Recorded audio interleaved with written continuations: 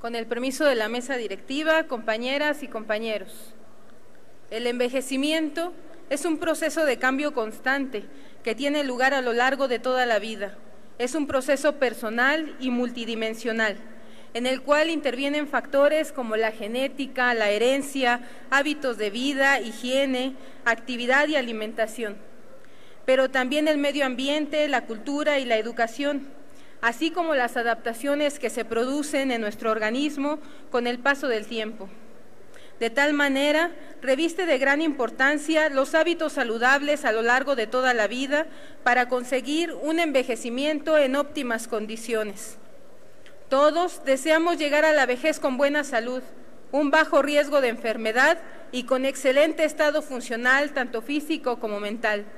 si le añadimos la consecución de una actitud positiva ante el propio proceso de envejecimiento y una vinculación y participación social activa, conseguiremos el envejecimiento activo, al cual hace mención la Organización Mundial de la Salud en su documento Envejecimiento Activo, un marco político, al cual define como el proceso de optimización de las oportunidades de la salud, participación y seguridad con el fin de mejorar la calidad de vida a medida que las personas envejecen. Permite a las personas realizar su potencial de bienestar físico, social y mental a lo largo de todo su ciclo vital y participar en la sociedad de acuerdo con sus necesidades, deseos y capacidades, mientras que les proporciona protección, seguridad y cuidados adecuados. En general, de acuerdo a la Organización Mundial de la Salud, la evidencia disponible demuestra de forma contundente que en comparación con los adultos mayores menos activos, hombres y mujeres, las personas mayores físicamente activas presentan una mayor salud funcional y menores tasas de mortalidad por causas como hipertensión, accidentes cerebrovasculares y diabetes tipo 2.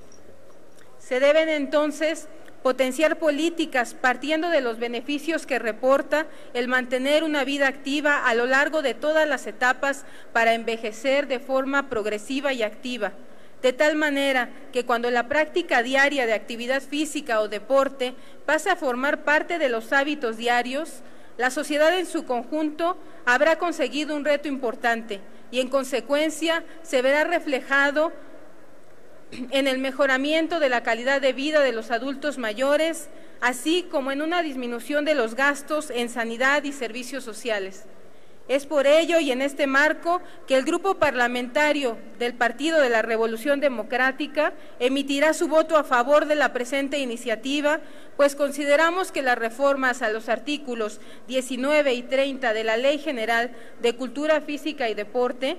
tienen por objeto impulsar políticas sociales y proyectos interdisciplinarios que promuevan programas de cultura física y deporte específicamente para la población adulta mayor,